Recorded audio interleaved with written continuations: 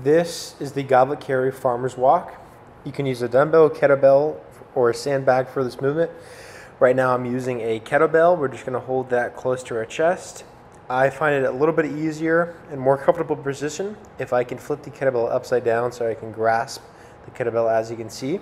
Do not slouch forward and do not overextend your back, sticking your hips out. We wanna have our spine at a nice neutral position where we're gonna squeeze our glutes and brace and breathe properly, pushing our glutes through, keeping that spine nice and neutral.